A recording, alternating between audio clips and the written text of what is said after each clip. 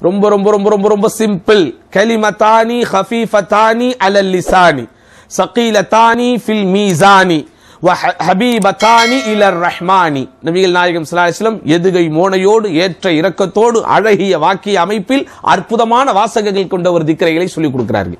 இது இரு வார்த்தைகள் இருக்கிறது நாவிற்கு இலகுவானது. மறுமையின் எடைத்தட்டிற்கு கனமானது. அளவற்ற அருளானனாகிய அந்த ரஹ்மானிற்கு மிகவும் விருப்பத்திற்குரியது நேசத்திற்குரியது. அதுதான் சுபான் அல்லாஹி வபிஹந்திஹி சுபான் அல்லாஹில் அதீம். சுபான் அல்லாஹி வபிஹந்திஹி சுபான் அல்லாஹில் அதீம். இதை நம்ம எண்ணிக்கையில் அடங்காமல் சொல்லிக்கொண்டே இருக்க வேண்டும். அது உண்மையிலே மஷா திக்ருங்கிறது அது அது ஒரு ஃபீலிங் அது ஒரு உணர்வு. அந்த திக்ரிலேயே யார் ஈடுபட்டு இருக்கிறார்களோ அவங்களுக்கு தான் அதை புரிஞ்சிக்க முடியும். அதுக்காக திக்ருங்கிறது ஒரு ஃபீலிங்கு அந்த உணர்வுல நம்ம உள்ள போகணுங்கிறதுனால நம்ம இந்த தரிக்கா கோஷ்டி முரீது கோஷ்டிகள் மாதிரி நம்ம போயிடக்கூடாது. அதெல்லாம் ஜஹில் அது அறியாமை அது வலாலத் அது வழிகேடு.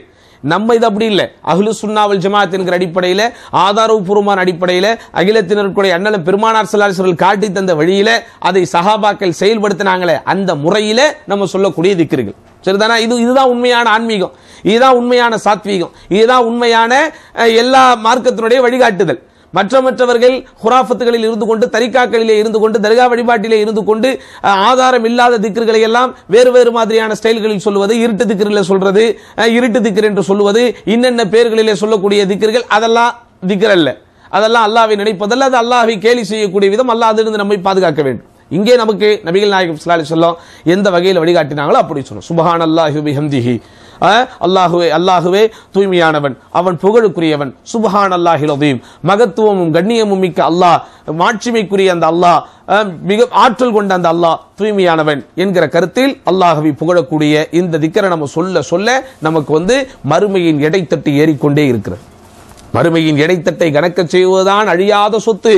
உலகத்தில் எவைகளையெல்லாம் நாம் சொத்து என்று நினைத்துக் கொண்டிருக்கிறோமோ அது இறைவனுடைய ஓப்பை தராவிட்டால் அது வெறும் வெத்து என்பதை புரிந்து கொள்ளுங்கள். உண்மையான சொத்து என்பது மறுமையின் இடைத்தட்டை கணக்கச் செய்வது. அதனாலதான் நம்ம வந்து நம்முடைய மனைவி மக்களுக்கு உண்டான நலன்களே செய்வதாக இருந்தாலும் அதிலே நம்ம அல்லாஹனுடைய நினைப்பை மனதில் கொண்டு நபிகள் நாயகம் சொல்லி தராங்களா இல்லையா? நீங்கள் செய்யற எல்லாத்துக்கும் நன்மை இருக்கிறது.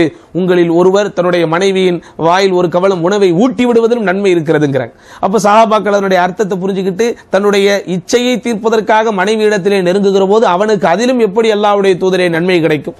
இப்ப தெளிவாக தெளிவா சொன்னாங்க அதே இச்சையை அவன் ஹராமாக தீர்க்க முடியும் அல்லவா? அப்போ ஹராமில் இருந்து விடுபட்டு விலகி நின்று ஹலாலின் வழியில் அல்லாஹ் அனுமதித்த வழியில் அவனுடைய சொந்த தேவைகளை அவன் நிறைவேற்றுகிற போது அதுவும் ஆன்மீகத்தில் ஒரு அங்கம் என்கிற கருத்திலே ரசூல் சலாம் சொன்னாங்களே அந்த மாதிரி என்ன செய்யணும்? இதை நம்ம புரிந்து கொள்ள வேண்டும்.